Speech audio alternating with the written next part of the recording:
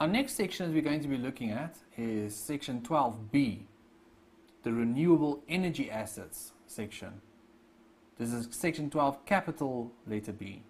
Now this is when you, you get this allowance if you purchase a capital asset and that capital asset is used in the production of renewable energy.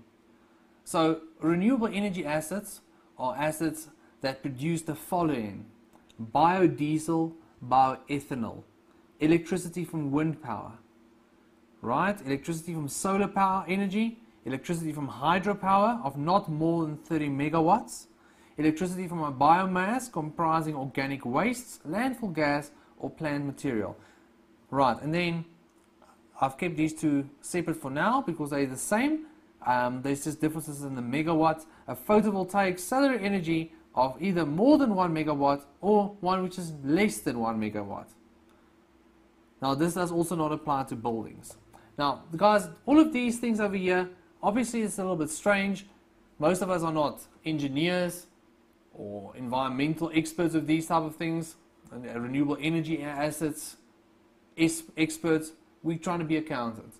So what I want you guys to do is obviously you need to work through this list so that you can recognize they talk in the exam about solar energy or bioethanol or photovoltaic energy that you then know that they are referring to this section.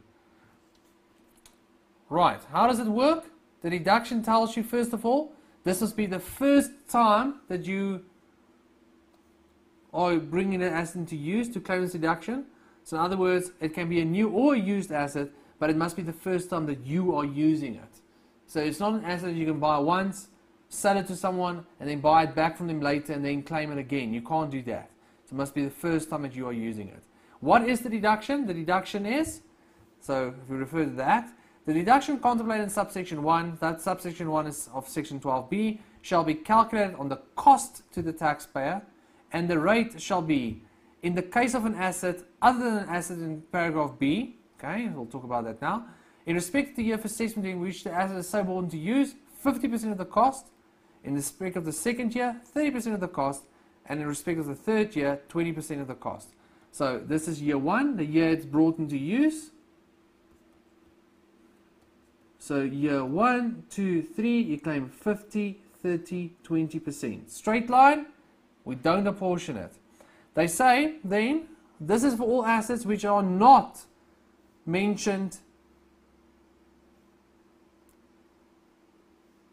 in terms of section subsection 1H2BB. Now this section over here is the section that tells you that refers to assets which produce photovoltaic solar energy not exceeding 1 megawatt. Right, so photovoltaic